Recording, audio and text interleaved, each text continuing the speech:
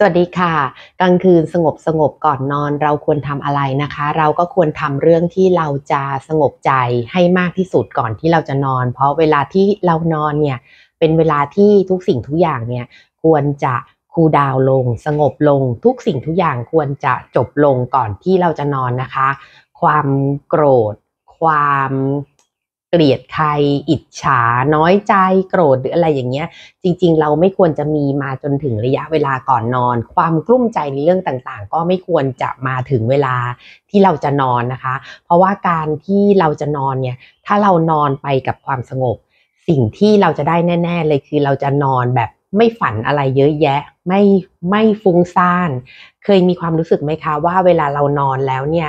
ทำไมเราถึงยังคิดอะไรฟุ้งซ่านตลอดเวลาแม้กระทั่งในความฝัน มันก็จะเป็นฝันที่มันดูเยอะมาก มันดูสับสนวุ่นวายกันไปหมดอย่างเงี้ยนะคะ ลองดูค่ะนะมีทริคสบายๆหนึ่งอย่างนะคะ ก่อนที่เราจะนอนนะคะ ลองค่ะฝึกทำสมาธิดูค่ะ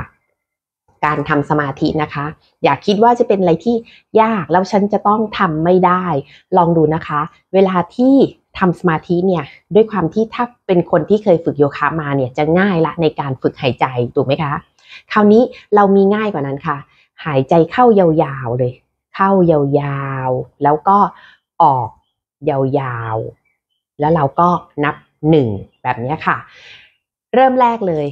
เวลาที่นำจะให้ใครต่อใครทำเนี่ยเขามักจะอย่างน้อง private นำอย่างเงี้ยนับได้หนึ่งก็จะบอกว่า หนูไม่ถึงสองนะคะ หนูจะมีเรื่องคิดมากนู่นนี่นี่นั่นหนูไม่ถึงสองแน่นอน ค่อยๆทำไป ค่อยๆ ให้กำลังใจตัวเองไปในการทำนะคะ คือเช่น คืนแรกคืนนี้ หายใจเข้ายาวๆ แล้วก็หายใจออกเนี่ย นับหนึ่งได้แค่นี้แล้วคิดเรื่องอื่น พอแล้วก็นอน พรุ่งนี้เอาใหม่ พรุ่งนี้อาจจะตื่นมาทำตอนเช้า หายใจเข้ายาวๆ แล้วก็ออกนับหนึ่ง แล้วก็ลองต่อเนื่องไปซิหายใจเข้ายาวๆ แล้วก็ออกนับสอง ไปแบบนี้เรื่อยๆ ค่ะ ความเพิ่มขึ้นของการนับเนี่ย ถ้าหลักการของการพัฒนาจิตใจนะคะ เขาจะค่อยๆเพิ่มขึ้นในทุกวันทุกวันทุกวัน แล้วความนี้ความความซ้ำของการทำเนี่ยอาจจะไม่ใช่เฉพาะเวลานอนในตอนกลางคืนนะคะ ถ้าเราต้องการความสงบเนี่ยเราอาจจะทำตั้งทำในช่วงเช้ากลางวันหรือช่วงเย็นที่เราต้องการความสงบได้นะคะ แต่วันนี้มันเป็นทริคครั้งแรกในการที่เรา ก่อนนอนเนี่ยเราควรจะทำยังไงให้เราสบายๆ เราควรจะมีโฟล์ยังไงนะคะนำจะแนะนำอย่างอื่นไปไม่ได้เลย นอกจากแนะนำให้ทำสมาธิค่ะ แต่ก่อนที่เราจะทำสมาธิในรูปแบบที่นำบอกไปแล้วนะคะ ว่าหายใจเข้าออกเนี่ยนับหนึ่งอย่างเงี้ยนะคะ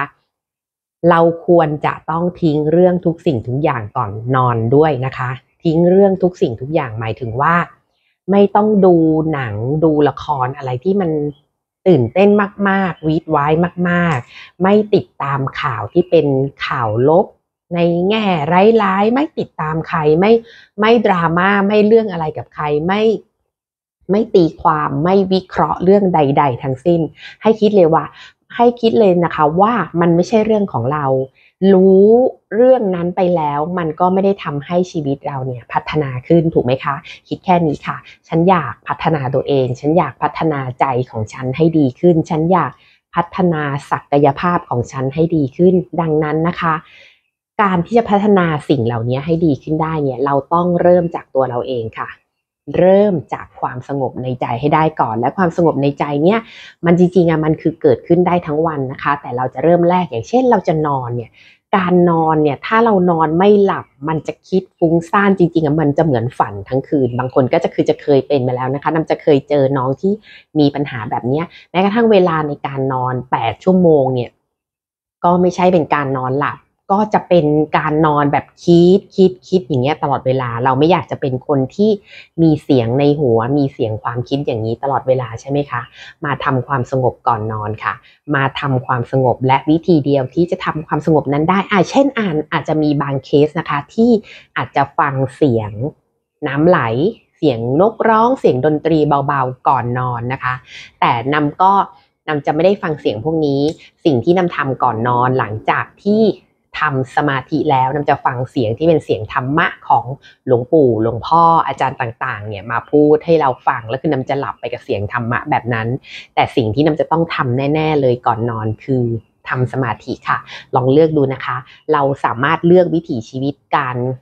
ความสบายของเราอะในการนอนหลับได้นะคะ และนี่คืออีกทางเลือกที่ดีและจริง ๆ แล้วทุกคนนะคะ ควรจะทำ การทำสมาธิเนี่ยไม่ได้เป็นเฉพาะว่าจะต้องเป็นศาสนาใดๆด้วยนะคะ คือศาสนาอะไรก็ได้ทำสมาธิค่ะ ไม่มีศาสนาเลยก็ทำสมาธิได้นะคะ เพราะการทำสมาธิเนี่ยเป็นการทำให้ใจเราอะสงบนะคะ แล้วเริ่มต้นจากก่อนนอนนะนำก็จริงๆนำเริ่มทำสมาธิเนี่ยเริ่มจากก่อนนอน แล้วตอนหลังๆก็พัฒนาขึ้นด้วยการเริ่มที่เป็นช่วงเช้า ช่วง ลางวันก่อนเตรียมสอน ช่วงเย็นก่อนเตรียมสอนนี้ค่ะมันก็จะทำสมาธิหรือบางทีถ้าเป็นทานอาหารเสร็จใหม่ๆ อย่างเงี้ยมันจะยังซ้อมโยคะไม่ได้มันก็จะเลือกเวลาที่เอาช่วงนี้ค่ะ มานั่งอ่านั่งตรงๆตัวตรงๆ หลังตรงๆ แล้วก็ทำสมาธินะคะ จริงๆ การทำสมาธิเนี่ยเขาสามารถเข้าไปแทรกซึมเราได้ในแทบจะทุกๆเวลาของเราเลยนะคะ ลองดูค่ะ อันนี้เป็น ทริคเล็ก ๆ ค่ะ ก่อนนอนเรามาทำอะไรกันดีนะคะ ที่จะทำให้เราหลับสบายสงบก่อนนอนเรามาสร้างความสงบก่อนนอนกันค่ะ แล้วพบกันในคลิปดีๆนำจะพยายามหาข้อมูลที่นำเก็บรวบรวมข้อมูลมานะคะ มาแนะนำแบบนี้ให้เราอะได้ค้นพบว่าจริง ๆ เรามีทางเลือกดีๆ ในชีวิตอีกมากมายเลย ที่เราจะสร้างความสงบให้ตัวเอง สร้างสมาธิสร้างสติให้ตัวเองทุกอย่างเราเริ่มสร้างได้ด้วยตัวเองค่ะ เราสามารถเลือก เราสร้างทุกอย่างเราเลือกทุกอย่างในรูปแบบที่เราต้องการที่จะพัฒนาตัวเอง พัฒนาตัวตนของเราให้ดีขึ้นได้ด้วยตัวเราเองนะคะ แล้วพบกันสนุกสะสนุกสะดวกสบายโปร่งเบาโล่งทุกสิ่งทุกอย่างนะคะ นอนหลับฝันดีเบาสบายค่ะ